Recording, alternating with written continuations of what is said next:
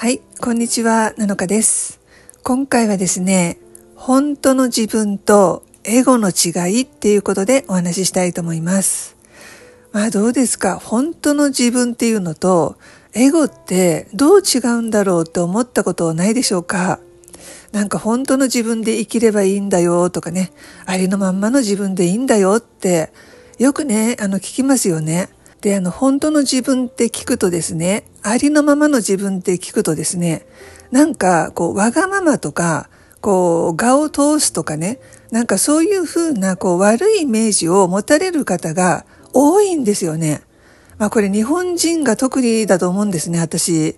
あの、他のね、外国の人たちを全て見たわけじゃないですけど、なんか日本人って、なんかこうずっとこう今までの思い込まされとか刷り込みでですね、まあ、とにかくこうね、どんぐりの背比べ的なね、こうみんなと同じような感じで生きなきゃダメなんだ。そこからこう自分だけね、こうね、私ってね、私はこうやって生きてますとかね、なんかこうやって私はこういうのが好きでとか、なんかこう自分の意思をこう表に出す、なんかそういうことってなんかあんまり良くないことみたいな、まあそういうですね、こうね、長年をこうね、生きてきたみたいな、まあそういうことってあるんですよね。だから結局ですね、こう自分っていうものを持っちゃいけないんじゃないかっていう感じの方が多いんですよね。で、まあ、あの、あんまり目立たないように、まあ、しとこうとかね。まあ、そういう感じで、こう、なんか、ある意味謙虚だったり、なんか、ある意味、こう、おとなしいのか、何なのかわかんないんですけどね。まあ、そうやってですね、こう、自分っていうものを、もう、あんまりこうね、自信を持っちゃいけないとか、なんか自分っていうものを持っちゃいけないんじゃないかって、まあそういう感覚ですよね。だからそういう感覚がですね、こう自分に自信を持てない、自分というものを認められてないから、もう自己否定とか自己卑下にこう陥りやすいんですね。その自己否定とか自己卑下っていうのは、あの、いろいろ人生の経験で、まあ、例えばね、あの、家族関係で親から愛されなかったとか、まあ、友達からこうね、仲間外れにされたとか、人間関係で嫌な思いをした。それで自分にはもう価値がないんだ。だって愛されてないからね、なんかこう嫌なことされたから、私って価値がないんだ、愛されないんだと思って、まあ、自己否定とか自己卑下に走っちゃうっていうこともあるんですけども、あとはですね、このね、あの、今までずっと育ってきたっき言った思い込まされとか刷り込みがあるわけなんですよね。まあそういう学校教育だったり、まあいろいろこうね、あの、目にするもの、耳にするもので、まあドラマとかね、いろいろマスコミとか、まあとにかくいろいろこの生きてくるこの中でですね、自分っていうものを持っちゃいけないんだよって目立っちゃいけないんだ。ね、あの、みんなと一緒でいいんだよっていうね。なんかこう自分っていうこの個人を大切にあんまりしてこないっていうそういうね、あの、この人生というか、世の中というか、まあそれでなんかこう、もう自己否定とか、自己卑下に生きやすいっていうこともあるわけなんですよね。やっぱり自分というものを持っちゃいけないっていう感じだから、あ、私なんてそんなね、いや、私なんて、ってこうね、なんかこう謙虚な感じだけど、結局それって自己否定とか、自己卑下なわけなんですよね。だから自分っていうものを持てない。そういう人がね、なんか日本人ってめちゃくちゃ多い感じがするんですよね。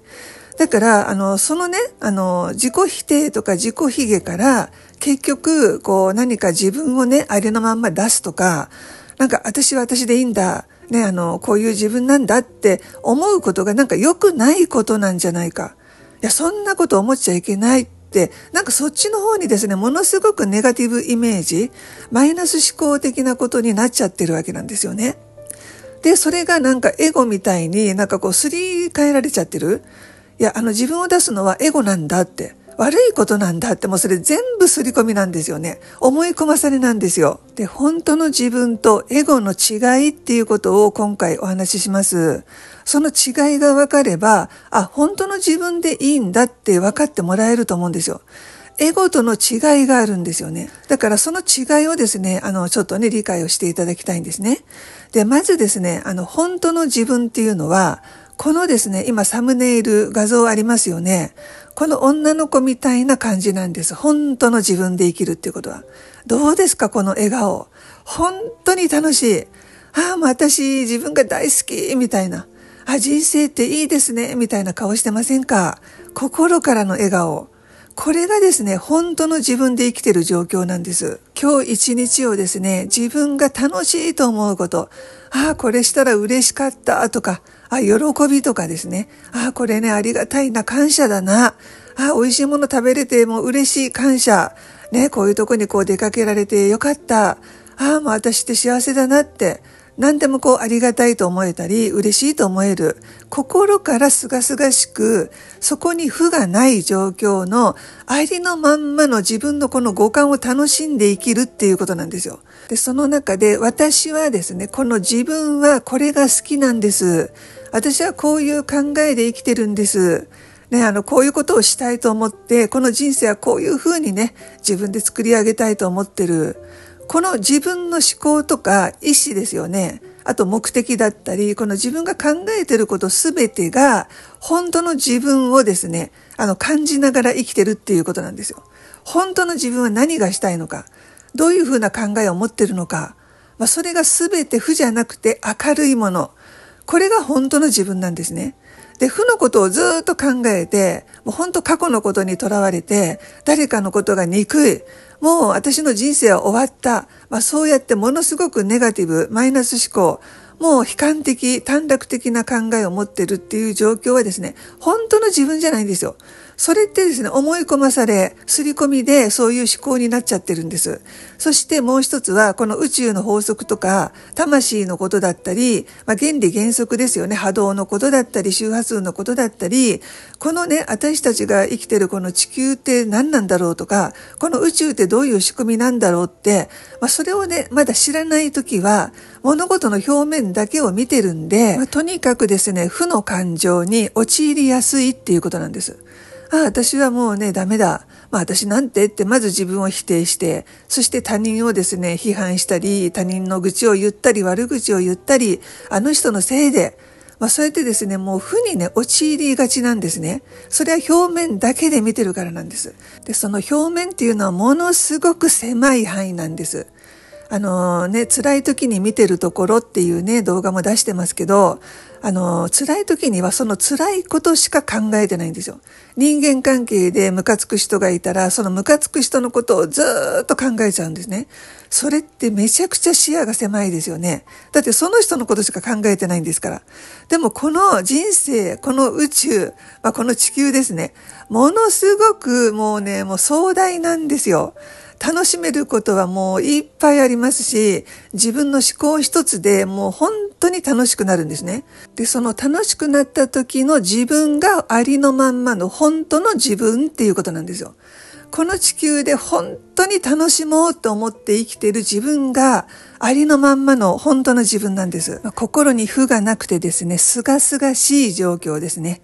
もう心が本当にこうね、澄み渡って、もう太陽のこう日差しを浴びてるような、本当にこうね、この女の子みたいな笑顔に慣れてる時が、本当の自分なんですよね。で、あの、大切なことはですね、それを人に押し付けないっていうことなんです。本当の自分っていうのは、本当の自分をですね、他人に押し付けないっていうことなんです。ただひたすら自分で楽しむっていうことなんです。本当の自分を。でも、エゴっていうのは、この自分をですね、他人に押し付けるっていうことなんですよ。エゴっていうのは。いや、私はこう思って生きてるんだよ。こういう価値観を持ってる。いや、これってこれが正しいよね。え、それおかしいよ。いや、私はこれが本当の私だから、それ分かってねっていうこの本当の自分と思ってるこの自分をですね、他人に押し付けるのがエゴっていうことなんですよ。それこそ最初に言ったね、こうわがままとかですね、まあそのこう、すごいこう自己顕示欲を表すみたいな、こう、私はっていう、こう、その、私私っていうね、その悪い意味の私私がエゴなんですよ。だからそうやってですね、こう、自分が、あの、本来ですね、本当は清々しくないんですよ、そのエゴっていうのは。いや、私の価値観はこうだから、あなたおかしいわよねが絶対入ってくるんですよね、エゴには。で、その他人をジャッジしたり、いや、あなたってって、そうやってですね、こう、負のね、方向に行っちゃうのがエゴなんですよね。で、もちろんその人にとってはそれが本当の自分でしょうね。あの、自分はこういうふうに考えてこういう価値観だって。だからその人にとってはそれが本当の自分だと思ってると思うんですけど、でもですね、それはエゴなんです。本当の自分じゃないんですよ。だから、あの、本当に清々しく、明るく、楽しく人生を謳歌する、その時の自分が本当の自分っていうことなんです。そして本当の自分で生きてるとですね、めちゃくちゃ楽なんです。だって他人によく思われようとする必要がないからなんです。ただひたすら自分を生きてるからなんです。他人にどう思われるかななんて考えないからなんですよ。ただ自分の今日を楽しむのが本当の自分だから、そこに他人が一切入ってこないんですね。だからめちゃくちゃ楽で、めちゃくちゃ幸せで、そしてそれがですね、波動が上がってる状況だから、もう人生がいいことしか起きてこないんですよ。だからそれがですね、波動の法則であり、宇宙の法則だから、あの表面だけで物事を見てない生き方だから、めちゃくちゃ幸せっていうことなんですね。でも、そこがエゴっていうことになっちゃうと、もう人生が真逆になっちゃうんです。だからそのね、本当の自分とエゴの違いが分かれば、本当の自分で生きていいんだってもうお分かりになりますよね。あの、エゴじゃなくて、本当の自分なんですよ。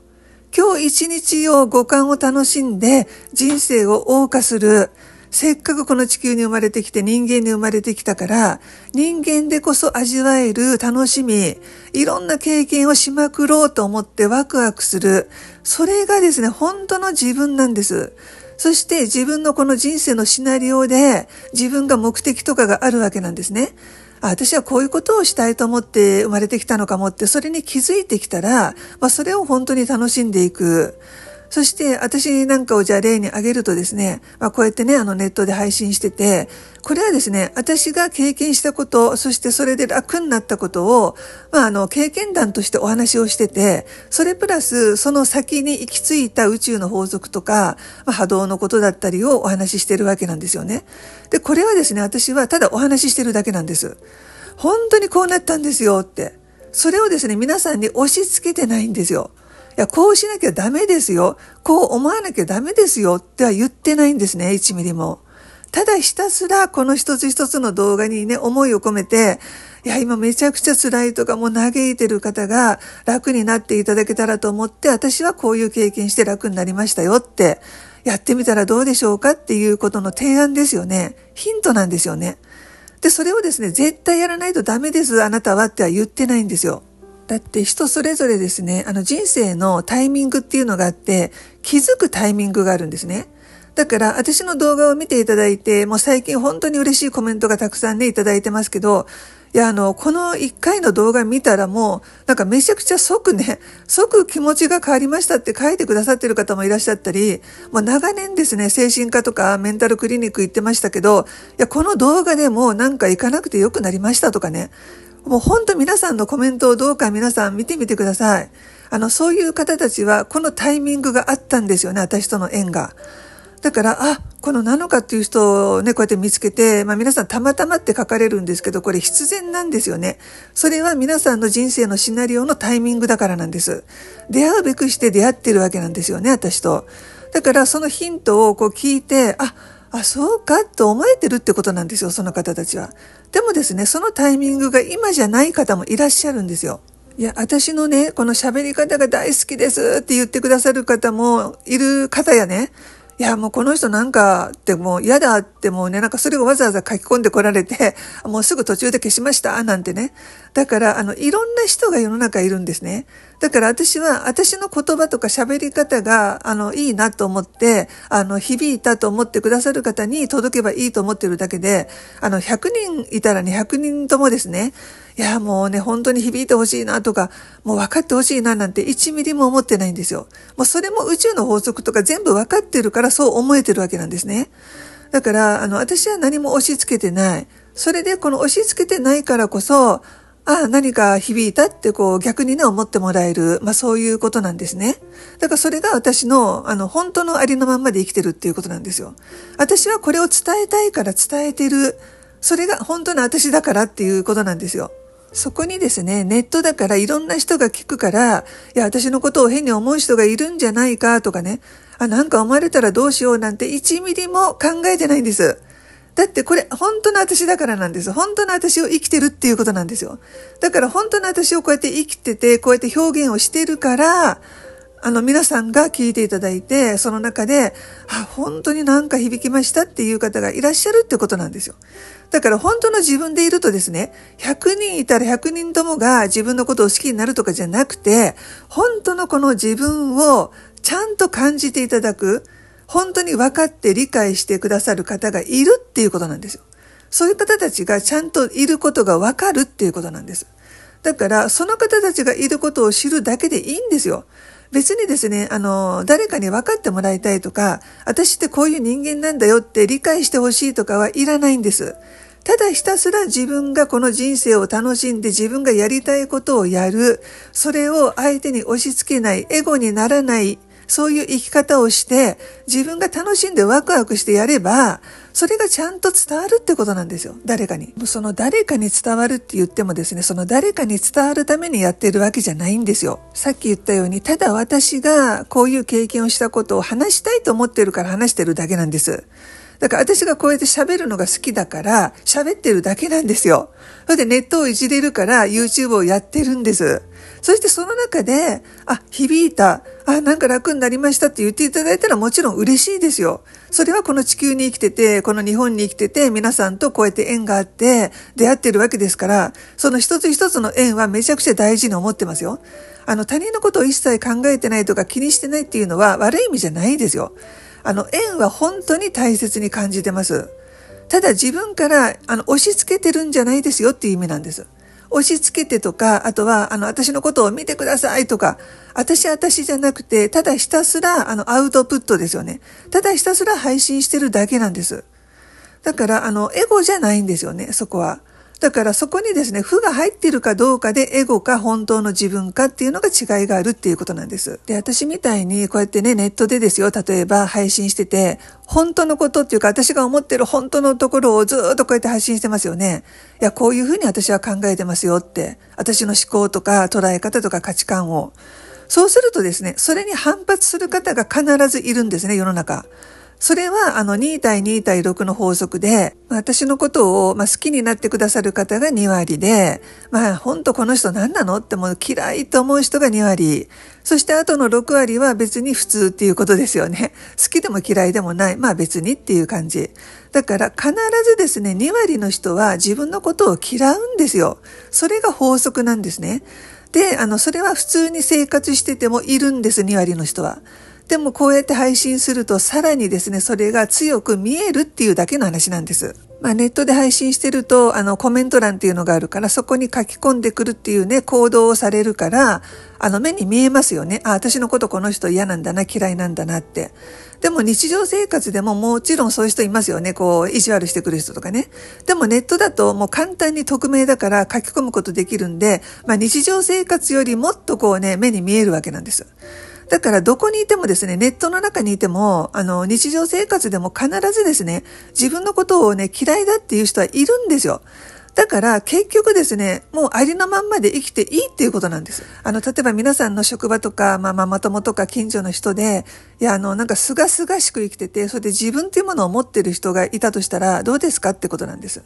その人ってすっごくある意味分かりやすいんですよ。あ、この人こういう生き方してるんだ。こういうことがすごく好きでワクワクするんだなって。で、そして、あの、付き合いやすいんですね、そういう人って。だって何を考えてるかわからないような感じじゃないからなんです。すっごく生き生きしてる人って分かりやすいんですよね、ある意味。だから、あの、自分もそういう分かりやすい人間になれば、周りからもすごく魅力的に感じてもらえるわけなんです。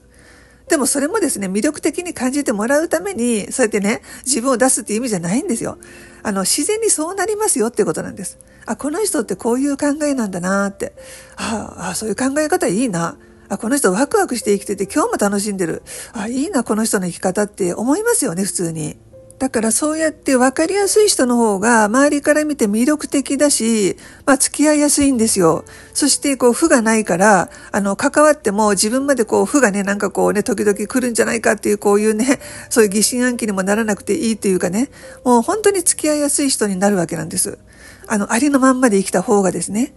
でも、こう、エゴがある人はもう本当に負がね、こう、本当垣間見えちゃうから、ああ、もうこの人嫌だと思って人が近づかないってことなんですよ。だから人に押し付けるような生き方をしてるとですね、もう本当に孤独になりますっていうことなんです。だからどうかですね、もうありのまんまの自分で楽しんで生き生きとワクワクして生きてみてください。そうすると波動も上がるからもう人生いいことばっかり起きます。先日もコメントでですね、なんか私の動画を見て、なんかそうやってこうね、心を変えて思考を変えたら波動が上がったみたいで、なんかこうね、あの、関わる人が、いい人がね、増えてきて、今めちゃくちゃ楽しくなりましたって、あなんかこれがね、波動が変わるってことなんですねって、あ、思考を変えるってこういうことなんですねって分かりましたって、そういうコメントいただいてましたよね。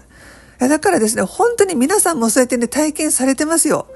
だから私がこうやって言ってることが本当なんだっていうことを皆さん体験されてますから、どうかコメント欄もですね、いろいろね、読まれてみてください。で、あの、コメント欄でのちょっとお断りなんですけどね、あの、ものすごくですね、今、どん底でものすごく辛くてっていう方いらっしゃいますよね、世の中。そういう方が時々ですね、いらっしゃって、そのご自身のものすごく今辛いことをもう書かれる方いらっしゃるんですけど、いやその方たちのね、お気持ちめちゃくちゃ私察してるつもりなんですよ。だって死別とか自死遺族とか、もういろいろね、こう体のこととか悩んでるとか、もう本当に私もですね、まあ、経験してしてますんで、あの病死とかね、あの自死遺族ですから、